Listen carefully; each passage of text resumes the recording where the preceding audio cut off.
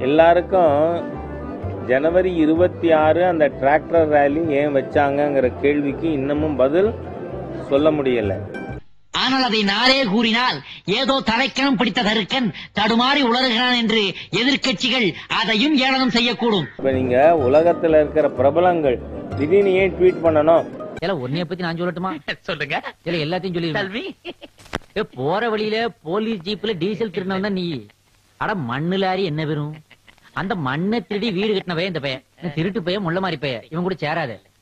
எல்லாருக்கும் என்னன்னா வயிற்றுச்சல் ஐயோ என்னென்னவோ எதிர்பார்த்தோம் ஒண்ணுமே நடக்கலையே. இந்த நாட்டை கேவலப்படுத்துறது நீங்களா நானாடா? அப்படின்னு என்னவோ சொப்பனம் கண்டது மாதிரி இன்னைக்கு பிரபலங்களை விட்டு ட்வீட் பண்ண சொல்லி இந்த அரசாங்கத்துக்கு கெட்ட பேர் கொண்டு வரணும்.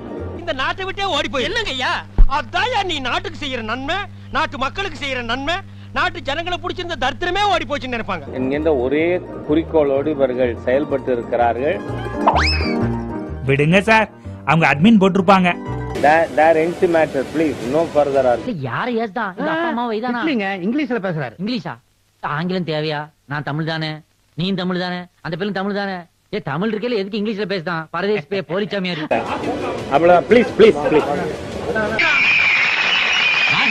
இந்த கூட்டம் இந்த அளவிலே நிறைவடைகிறது. எனக்கு கவலை தோய்ந்த உங்கள் முகங்கள் முன்னால் இருந்தாலும் கட்சி அலுவல்கள் பின்னால் அழைப்பதால் நான் செல்ல இருக்கிறேன். நமது தோழர் இன்றே ஆகாய மார்க்கமாக செல்ல இருக்கிறார். அவரிடம் உங்கள் குறைகளை கூறுகள்